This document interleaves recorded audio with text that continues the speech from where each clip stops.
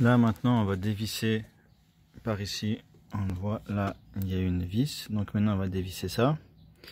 Plus euh, celle-là, celle-là, celle-là et une qui est encore dessous.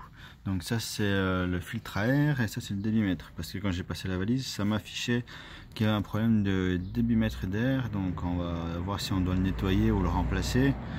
J'espère pas le remplacer parce que ça coûte un petit peu cher. On va dire sur internet Autodoc les choses comme ça on peut trouver genre 50 euh, avec frais de port à 70 euros. Mais si on va directement chez des pièces détachées, il y en a pour facile au moins 120, à peu près 120-130 euros. Hein. Bon, euh, le but c'est de qu'elle redémarre, donc ça c'est des petites choses, euh, ça c'est des petites choses, des petits détails. Mais bon, là, le boîtier de préchauffage il a été démonté, je l'ai nettoyé avec du nettoyant en contact. Faut pas hésiter, le nettoyant en contact c'est fait pour ça.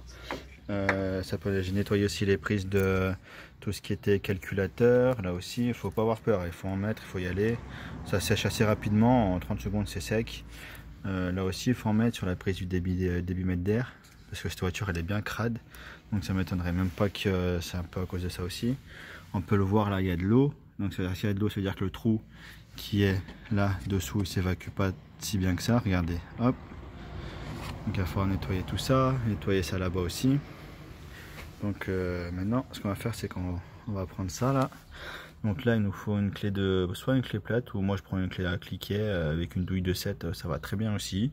C'est plus rapide et tu te fais moins chier. Donc après, je vais faire déposer ça. Une fois que j'aurai déposé ça, je vais pouvoir enlever les vis pour enlever le filtre là-bas et regarder un peu l'état du filtre à air.